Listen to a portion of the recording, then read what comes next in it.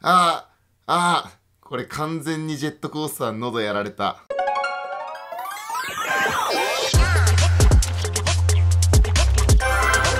どうも、ドーズルです。はい、ということで本日もこちら、クラローリーグアジア2019お送りしていきたいと思います。さあ、ということで、え、おととい、遊園地に行って絶叫マシンで絶叫しすぎて、で、昨日なんか空気が乾燥していたからか、え声がなんか変わってしまった。ちょっといつもより低めでね、えーお送りしていきたいと思うんですけれども、えー今日はクラロラリーグ、昨日のね、えーポノス戦からお送りしていきたいと思います。えっ、と、今シーズン初めての、えーライキ・ジョーンズ選手のワンオンワンですかね、えーワンワン起用がありましたので、えーそちらからお送りしていこうかなというところで、敵の選手からまず話していくんですけれども、えー相手がね、マスターホン選手っていう30代後半の、えー選手なんですよね。えークラロラリーアジアでも最年長の、えー選手なんですが、そのマスターホン選手に対して、えーライキ・ジョーンズ選手が選んだ、えーとバンカードがゴーレム。マスターホン選手はゴーレムだったり、ラバーウンドだったり、まあ、そういった重量級を、え使う選手で結構ね、あの対策されても対策されても、えゴーレム使ったりだとか、まあ、重量級メインでね、えー戦っていく選手でございます。で、その重量級メインの、ね、マスターホン選手に対して、ライキ・ジョーンズ選手、ゴーレムをバーンした後に、ま本命はね、私、あのーラバーハウンドかなと思ったんですけれども、なんと、えライキ選手が選んだのは、ペッカデッキ。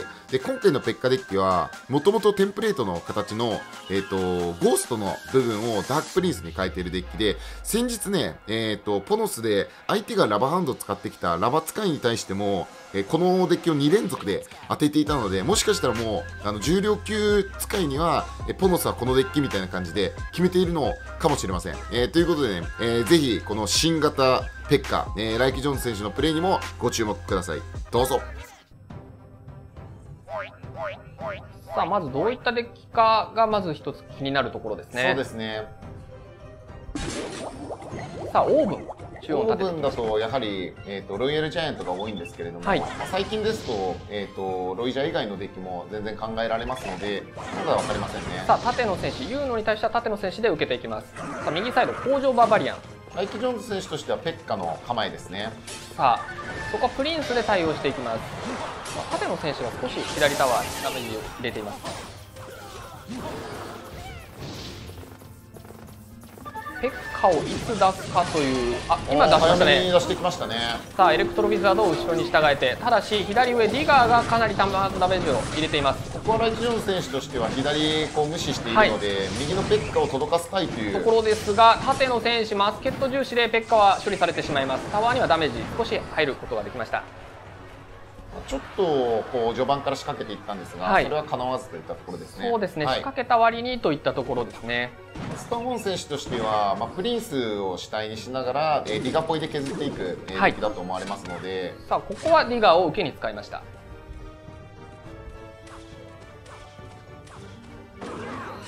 さあ後ろから工場バーバリアン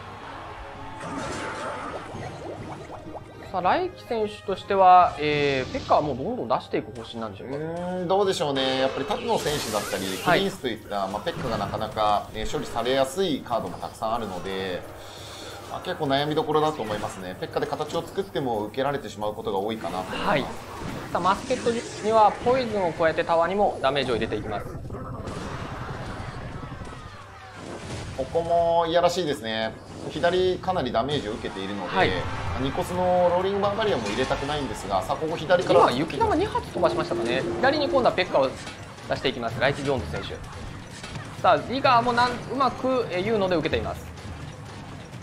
ここ左で攻めを形を作って、さあ最後ダークプリンスですね。そうですね、これはタツの選手には有効そうです。さあマスケット重視の受けにはポイズンを加えてなんとか攻めを通したいところ。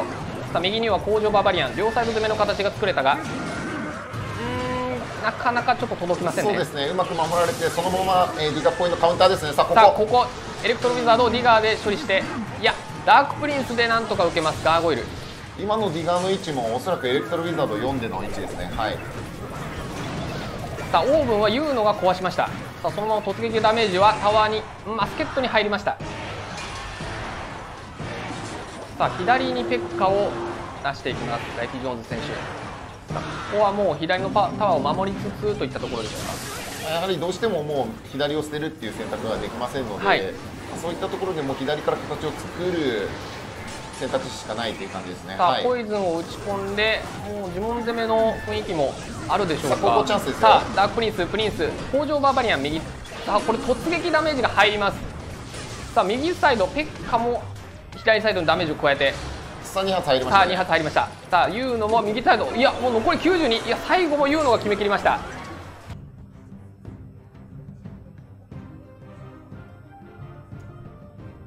あお互い見合ってますねはい、動かないですね。今回やっぱインフェルノドラゴンバンっていうのも活かしたいと思うので、マスターモン選手的には、ああダークプリンス、後ろから出してきました今回ライキ・ジョーン選手はまた先ほどのペッカですかね。さあデッキは変えずに挑むでしょうかライキ・ジョーンズ選手。マスターホーム選手はベビードラゴン後ろから展開しています。今回ゴーレムがバンされているので、まだ分かりませんが、お互いペッカデッキの可能性もありますし、マスターモン選手、ラバーハウンドの採用も考えられます。はい。まだちょっとデッキは判明しづらい。さあベビードラゴンタワーにダメージを受けています。そこタワーにダメージを入れていますがそこはガーゴイルで受けています。うんまだ主軸になるようなカードお互い見えませんねそうですね。ライキ・ジョー選手、おそらく先ほどのペッカデはいッキだと思われます。先ほどは積極的に序盤から出していったようにも見えたんですが今回は慎重にそうですね。相手の主力っていうのを確認してからというところかもしれません。なるほどさあ一旦落ち着きました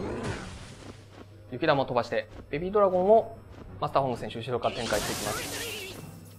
まあ、今のところマスターホン選手のユニットを見るに、まあ、メインは、えーはい。ジャイアントデッキなんかが多そうなので、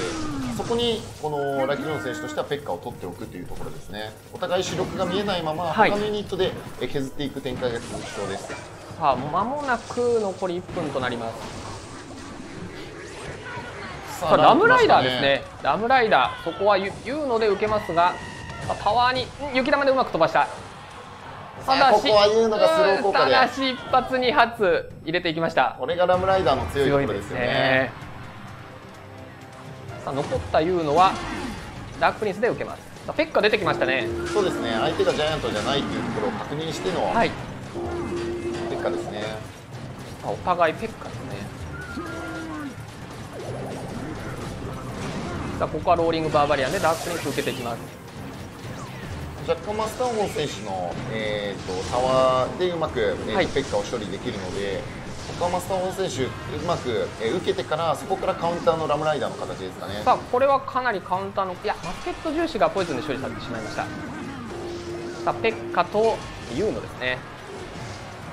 ここでお互いどっちかのユニットが残った時にカウンターの形でつなげていきたいんですけれども、ライキ・ジョーンズ選手としてはなかなか自分から工場バーバリアン、おー来ましたあ右ね。サイドダークプリンス工場バーバリアンバーバリアンの形。ローリングウッドあローリングバーバリアンで受けますがうん工場バーバリアンの突撃ダメージが入りました。いいですね、ここバーバリアンがフリーになってますよ。さあバーバリアンユーノで右サイドを攻め立てていきます。大輝ジョーンズ選手。さ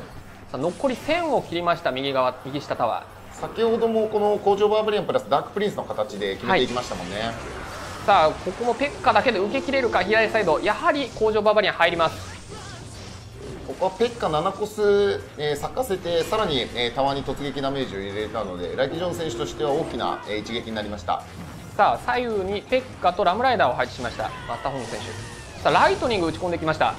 いやかなりラムライダーいいダメージを入れているがそこはダークプリンスで処理です。いやかなりこれは大大ダメージですねそうですね。あとライトニングプラスラムライダーの一発で終わるんですがさあここ。ここ。工場バーバリアンとダークプリンスの形ですがそこはダークプリンスでうまく受けました。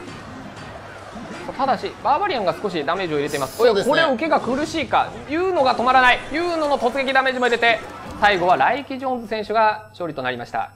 はい、ということで、いかがだったでしょうか？ライキ・ジョン選手の決めポーズ、久しぶりに見せていただきました。えー今シーズン初めてのワンオンワン投与っていうところで、まあ、ポノスはね、結構選手を、えーワンオンワンいろんな選手を使うことによって、まあ、相手チームに読ませなかったりだとか、まあ、経験を積んでね、えーどの選手もこう、ワンオンワンで戦えるっていうところを、まあ、早い段階から、ね、チャレンジしているチームなので、まあ、そういったところでもね、え終盤またチームの、えー強さっていうのが出てくるんじゃないかなと思います。で、今回、ライキ選手が、ね、使っていたペッカデッキも、もまたちょっと流行りそうな感じしますよね、えー、重量級に対して、えー、しっかり、ね、ペッカで組み立ててから逆サイドっていうね、え突破力がかなり高い、えデッキですので、ね、こういったね、えーと、新しいデッキが生まれるのももうこのクラロワリーグの面白いところかなと、え思います。今回久しぶりにまた解説をやらせていただいてやっぱ特等席ですね。解説めちゃめちゃ楽しかったですやっぱり。あのまた今後もね、えちょくちょく私実況だったり解説だったりで、え出てくると思いますがぜひ温かい目で見ていただけると幸いでございます。今回初めて、えー、実況をされていた中島さんも